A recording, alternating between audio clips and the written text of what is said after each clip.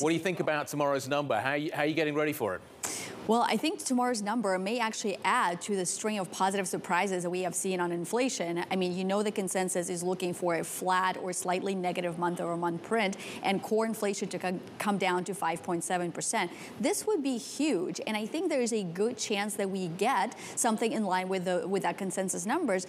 The reason I say this, guys, because if you look at components of CPI, all of them slowly but surely have been adding to this lower inflation yep. narrative. I mean, for example, look at the goods component. The goods CPI was running at 16% year over year sometime last summer. It is now running at 5.3%. And if you look at the month over month numbers for goods inflation, it's actually deflationary now. So that's a great development. Whether you look at fuel, whether you look at fertilizer, some of those prices have started to come down. And then, of course, we've got the wage report last week, which showed that wage inflation eased from 5.6% to 4.6% year over year. So you, you add that together, you look at, you know, some of the recent rent prices that we have been getting, and they're starting to ease off too on a month over month basis. So, so I think it bodes well for the number tomorrow. And to kind of to your lead in point here, which is maybe we should listen to the markets. Well, that's what the markets are sniffing out right now is that we might actually yep. have a string of positive developments on inflation.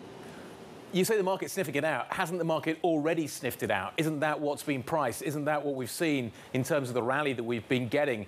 Isn't this already discounted? And if it is, don't we need to see a really soft number, therefore, to get equities to move tomorrow?